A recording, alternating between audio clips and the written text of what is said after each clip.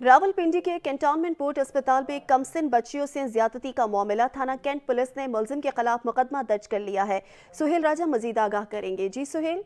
सुहेल से रबता करने की कोशिश करेंगे, लेकिन आपको बताएँगे कि रावलपिंडी के कैंटोनमेंट बोर्ड अस्पताल में कमसिन बच्चियों से ज्यादती का ये मामला है और थाना कैंट पुलिस ने मुलजिम के खिलाफ मुकदमा दर्ज किया है।